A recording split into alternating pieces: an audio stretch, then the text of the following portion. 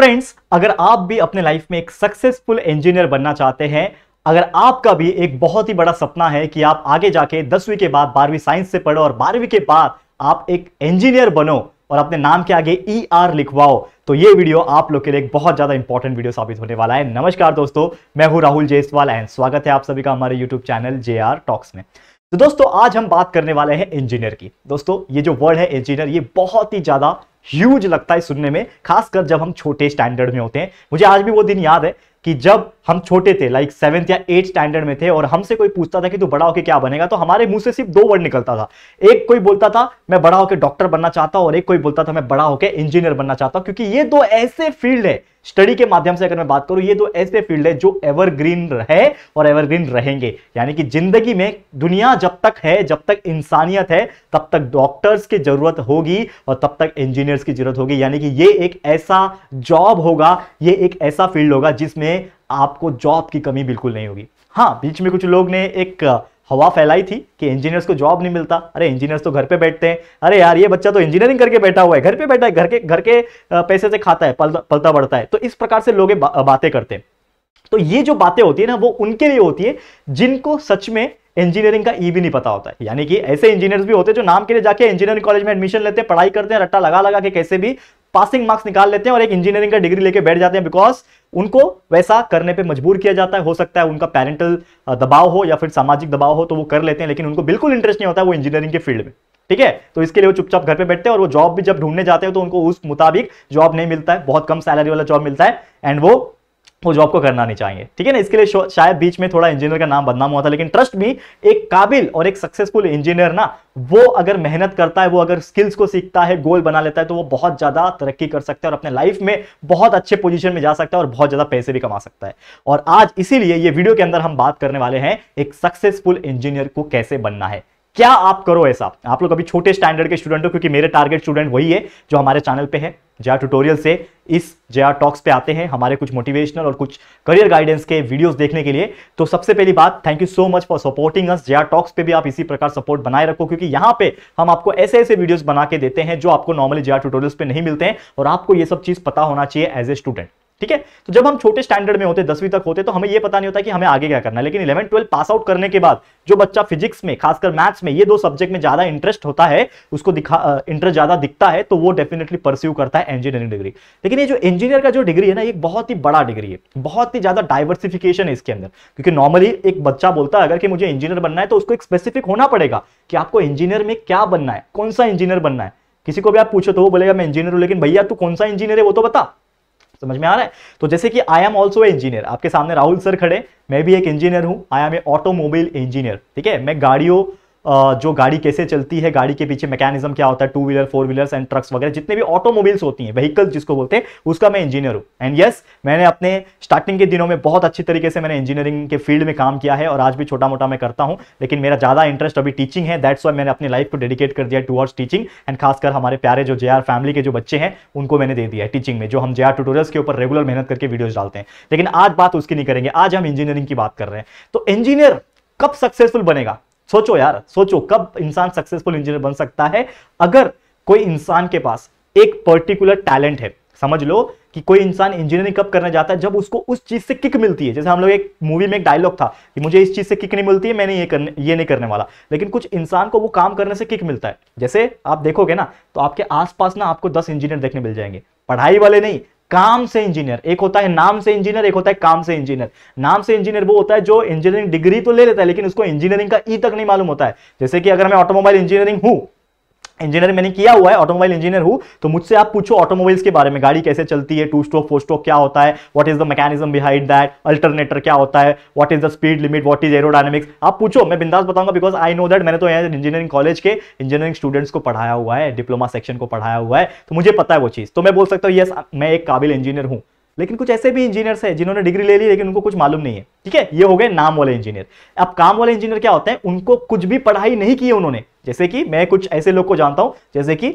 एक होते हैं इलेक्ट्रीशियन उनको आप कोई भी वायर जोड़ने का काम दे दो, ट्यूबलाइट लगाने का, इलेक्ट्रिशियन का, कोई भी काम दे दो, वो बिंदास प्रैक्टिकल तरीके से वो इलेक्ट्रिकल का काम करते हैं। कुछ ऐसे होते हैं, कुछ भी मशीनरी में फॉल्ट आया, वो उसको रिपेयर कर सकते हैं, ठीक है? तो वो भी एक इंजीनियर है, क्योंकि उनके पास वो प्रैक्टिकल नॉलेज है। बस उनके पास क्या नहीं है, डिग्री नहीं है, इसीलिए वो मात खा जाते हैं और उनको हम डिग्री नहीं, उनको हम इंजीनियर नहीं बोलते, उनको हम क्या बोलते हैं कि ये तो मिस्त्री है। हमारे हिंदी वर्ड में तो यही बोला जाता है हमारे इंडिया में, अरे यार, ये तो मिस्त्री है, अरे ये तो टेक्नीशियन आदमी है, ये मिस्त्री आदमी है। ठीक है ना? तो उसको हम लोग ऐसा बोलते हैं, क्यों? क्योंकि उसके पास डिग्री नहीं है। तो अगर आपको एक सक्सेसफुल इंजीनियर बनना है तो सबसे पहली बात, आपके अंदर वो स्किल होना चाहिए। अगर आप एक डिग्री कर रहे हो इंजीनियरिंग डिग्री कर रहे हो, लेकिन अगर आपके पास वो स्किल नहीं सीख रहे हो आप तो कहीं ना कहीं आपका वो जो इंजीनियरिंग का डिग्री है ना, वो रखा रखा सड़ जाएगा घर में। तो आपको अगर काबिल और सक्सेसफुल इंजीनियर बनना है तो सबसे पहले आप अपने आप से पूछो कि आपको किस फ़ील्ड में इंटरेस्ट है। क्या आपको इलेक्ट्रिकल इंजीनियर बनना है? क्या आपको बिजली जो चीज़ें हैं, इलेक्ट्रिसिटी कैसे काम कर सकता है, इलेक्ट्रिसिटी कैसे वर्क करता है, कैसे पैदा किया जाता है इलेक्ट्रिसिटी को, कैसे ट्रांसमिशन टावर्स वर्क करते हैं, कैसे जनरेटर वर्क करता है एसी डीसी ऐसे कई सारे चीज़ों के अंदर आप जब सोचते हो, उसके बारे में जब सोचते हो तो आपको बहुत ज़्यादा फैंटिसाइज लगता है, बहुत ज़्यादा मज़ा आता है कि यार, काश मैंने इसकी पढ़ाई की होती या फिर काश मैं इसको पढ़ू तो आपको मज़ा आ जाए। तो अगर आपको ऐसा लगता है तो आप इलेक्ट्रिकल इंजीनियरिंग कर सकते हो आगे जाके। करेक्ट है?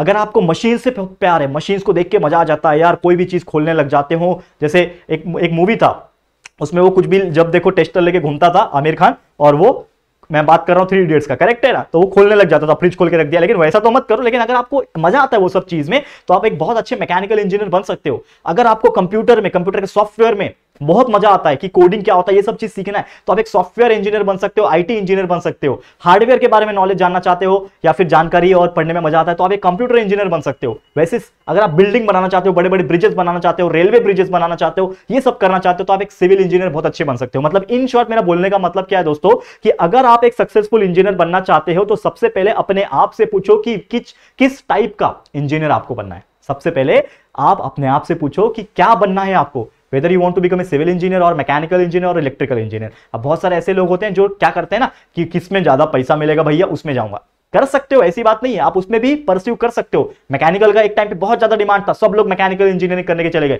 एक टाइम के बाद इलेक्ट्रिकल का डिमांड आया इलेक्ट्रिकल में करने चले गए। लेकिन बाकी को भी इंपॉर्टेंस दो। मतलब इससे एक चीज़ क्या पता चला कि अगर आपको एक सक्सेसफुल इंजीनियर बनना है तो पैसे के पीछे मत भागो। आप उसका काम सीखो। जैसे मेरे पहचान के काफ़ी सारे ऐसे लोग हैं, जिन्होंने को कोई इंटरेस्ट नहीं था कि वो सिविल करना चाहते हैं या फिर मैकेनिकल करना चाहते हैं, लेकिन उन्होंने किया।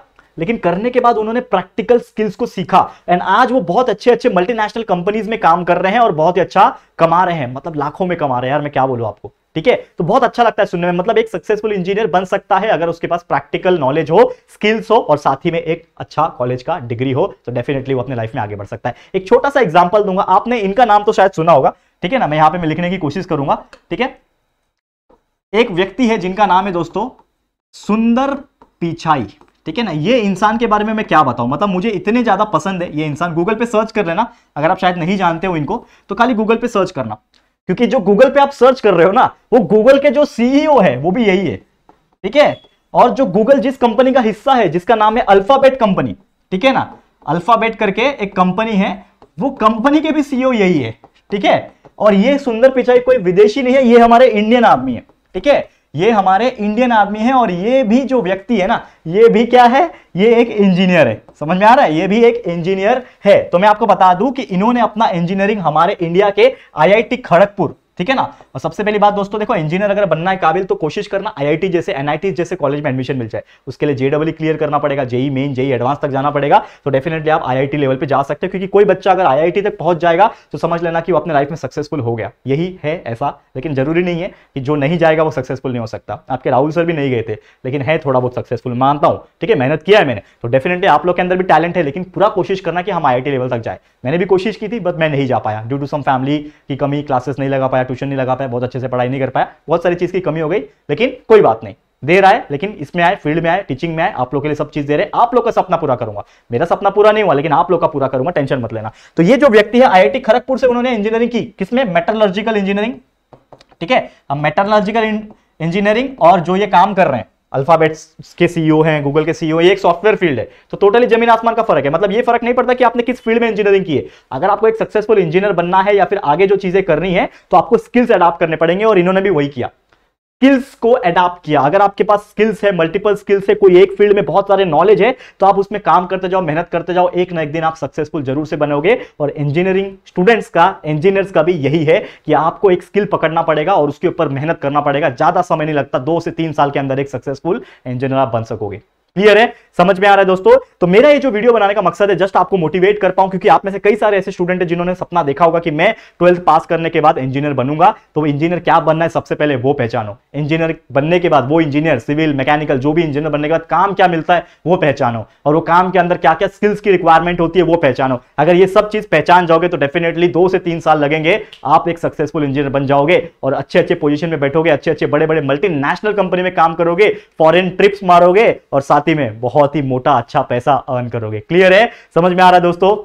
तो उम्मीद करता हूँ कि ये जो मेरा वीडियो बनाने का जो मकसद है और एक एग्ज़ाम्पल दिया हमारे लीजेंड सुंदर पिचाई जी, ठीक है ना? तो वो बहुत ही महान व्यक्ति है। उनके बारे में मैं क्या, कितना तारीफ़ करूँ, उतना कम है। बहुत ही अच्छा लगता है कि ये हमारे इंडियन है। मतलब हमारे भाई है तो बहुत अच्छा लगता है सुनने में। लेकिन आप में से भी कई सारे ऐसे लोग होंगे जिनके अंदर टैलेंट होगा, जिनके अंदर वो मोटिवेशन, आग, वो जज्बा होगा। और कई सारे ऐसे लोग हैं, वो ऐसे ऐसे पोजीशन में भी बड़े बड़े कंपनीज़ में जा सकते हैं, और खासकर विदेशी कंपनी में, जहाँ पे दूसरे मुल्क के लोगों का राज है, वहाँ पे भी हम जैसे इंडियन लोग, वहाँ पे जाके टॉप पोजीशन में बैठेंगे और हमारे इंडिया का नाम रोशन करेंगे। क्लियर है? तो उम्मीद करता हूँ कि ये सब चीज़ें आपको समझ में आ गया होगा। तो चलो फिर आज के लिए वीडियो इतना ही। उम्मीद करता हूँ ये वीडियो आपके लिए हेल्पफुल रहा होगा। वीडियो कैसा लगा है प्लीज़ कॉमेंट करना। वीडियो अगर पसंद आया अच्छा लगा है दोस्तों तो प्लीज़ हमारे वीडियो को लाइक कर देना एंड अपने दोस्तों के साथ जितना हो सके शेयर कर देना। और अगर फ़र्स्ट टाइम आयो चैनल पे, अभी तक चैनल को सब्सक्राइब नहीं किया तो फटाफट से हमारे चैनल को सब्सक्राइब कर देना। बाजू में एक बेल आइकन होता है उसको प्रेस कर देना, ताकि फ्यूचर में हम कभी भी वीडियोस लेकर आएँगे तो आप लोगों को नोटिफिकेशन मिलता रहेगा। ठीक है फ्रेंड्स तो जल्दी मिलेंगे हमारे न्यू वीडियो में। तब तक के लिए thank you and good bye